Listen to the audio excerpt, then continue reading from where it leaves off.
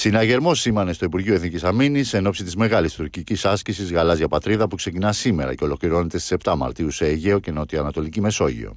Η Αθήνα για αυτό το λόγο προχωράει στην ενίσχυση των δυνάμεων του πολεμικού ναυτικού που περιπολούν το Αιγαίο αλλά και στη θαλάσσια περιοχή μεταξύ Ρόδου και Καστελορίζου. Σημαντικός αριθμός πλοίων του στόλου έχει λάβει εντολή από όπλο από τον άσταθμο Σαλαμίνας με κατεύθυνση τη συγκεκριμένη θαλάσσια περιοχή όπου πρόκειται να αναπτυχθούν οι τουρκικές ναυτικές δυνάμεις. Σκοπός τους η διακριτική παρακολούθηση της δραστηριότητάς τους αλλά και η αντιμετώπιση τυχόν προκλητικών συμπεριφορών σε βάρος της εθνικής μας κυριαρχίας.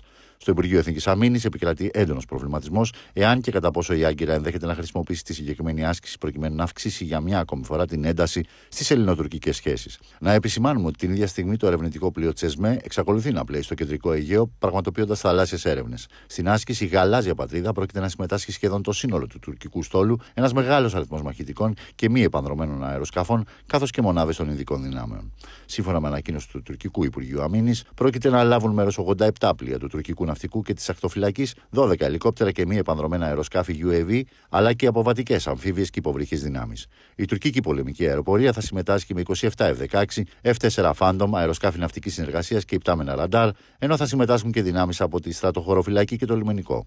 Αξίζει να σημειώσουμε πως η εν λόγω άσκηση έχει δύο χρόνια να πραγματοποιηθεί, καθώς το 2020 ματαιώθηκε εξαιτίας της πανδημίας. Ιδιαίτερη μνήμα πρέπει να γίνει επίσης και ως προς την ονομασία της, δεδομένου ότι η φράση γαλάζια πατρίδα χρησιμοποιείται κατά κόρον τα τελευταία χρόνια από την τουρκική στρατιωτική και πολιτική ηγεσία. Ουσιαστικά διατυμπανίζει τις θαλάσσιες διεκδικήσεις της Τουρκίας, οι οποίες εκτείνονται σε μια περιοχή 462.000 τετραγωνικών χιλιόμετρων που χαρακτηρίζεται από την Άγκυρα ως τουρκική επικράτεια.